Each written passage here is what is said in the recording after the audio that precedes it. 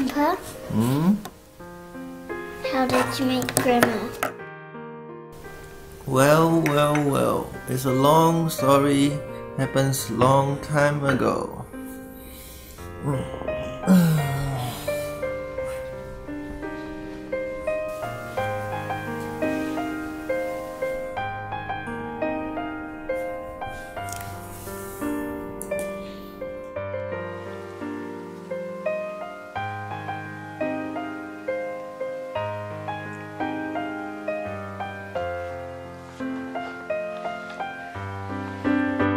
So, this is how it all started.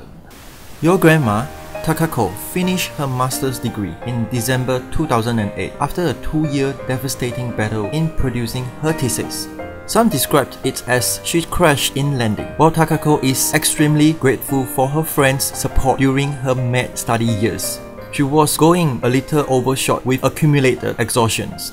However, being unaware of her own states of mind and health, she started looking for a job from Dunedin in 2009. In April in the same year, she was shortlisted for an interview for a student support advisor position at the University of Canterbury in Christchurch.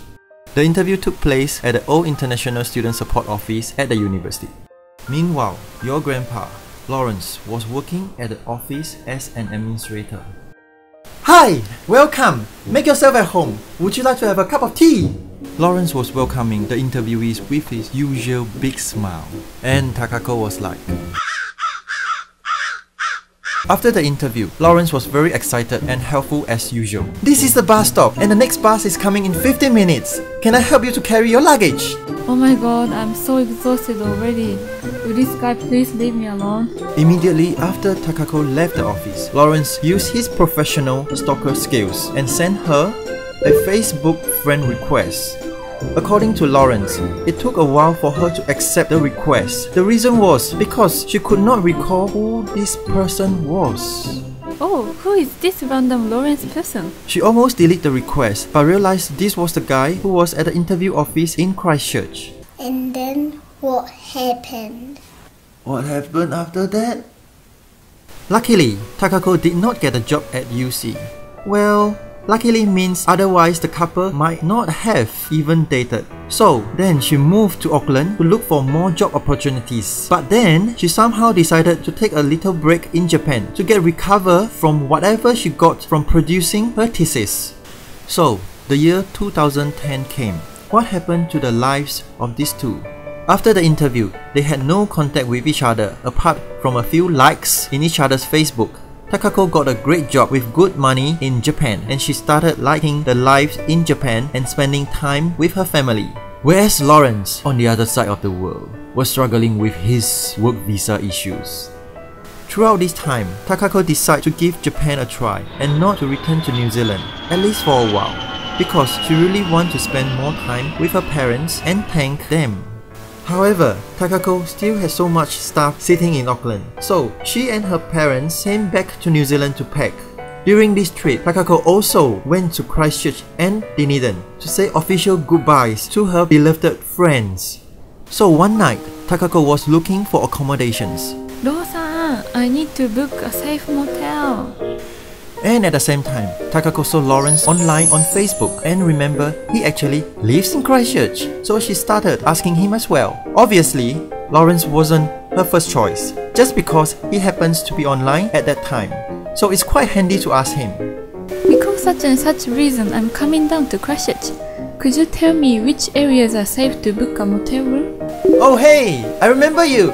Um, I think the best area is in Riccarton, but you can come and stay in my flat if you want. There is a free room, and the house is big and has many rooms. Uh, no, that's alright. Thank you anyway. However, things always come by unexpectedly, and thank God for giving Christchurch a big aftershock.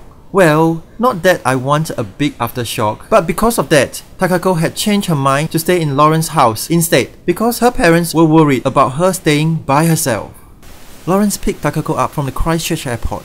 Just like in one of those romantic movies, the moment Lawrence saw Takako, his heart jumped with joy. He could not take his eyes off her, as if Takako is the only person he could see.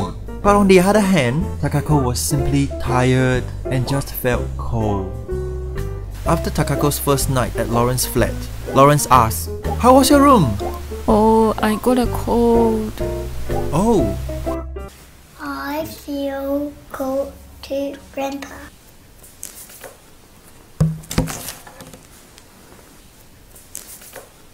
oh, oh you, you are so heavy. Oh.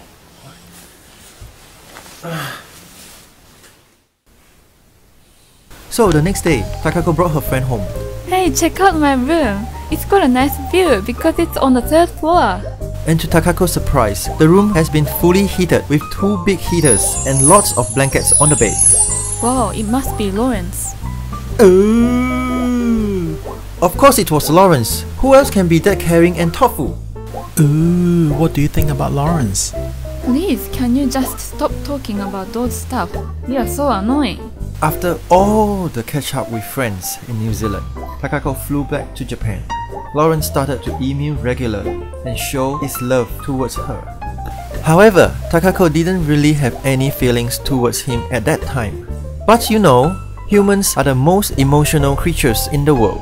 Takako was eventually touched by Lawrence's continuous emails, and of course, nothing can stop the sparks once it has been ignited. They started chatting with each other online just once or twice a week, but gradually to seven days a week. Skype, Facebook, email, anything that can connect their hearts together. And so the courtship flourished. Their romance was nurtured to the connection of the internet. But of course, Lawrence knew that wasn't enough, so he broke his piggy bank and flew all the way to Japan. And then they had a sweet, sweet, and mushy, mushy holiday together. What did I do, Grandpa? Hmm, you will know when you grow up. Here comes the special moment.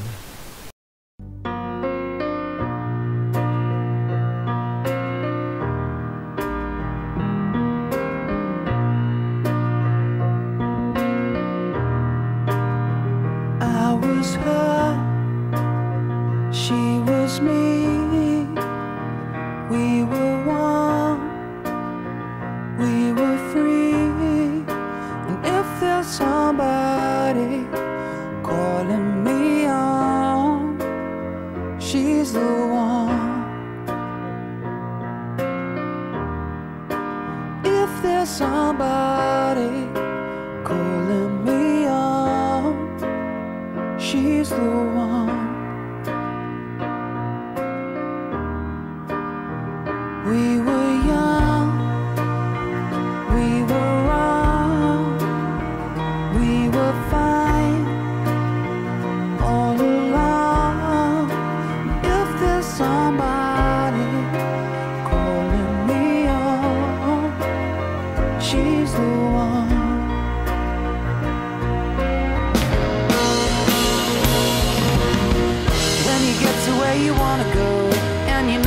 You wanna know, yeah.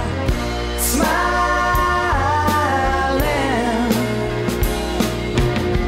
When you said what you wanna say, and you know the way you wanna play, you'll be so high, you'll be flying. Though the sea will be strong.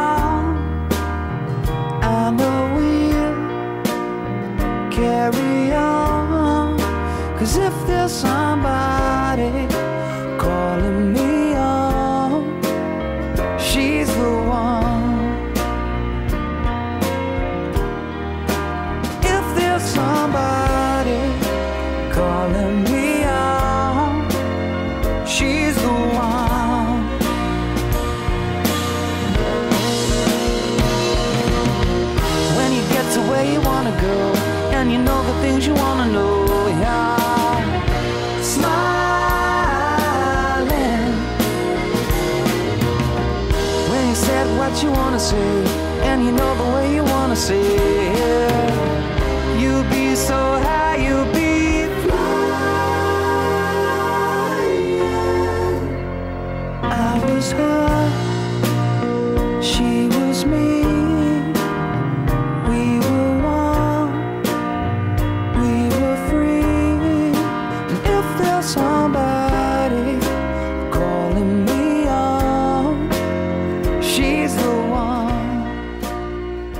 So, this is how your grandpa and grandma met.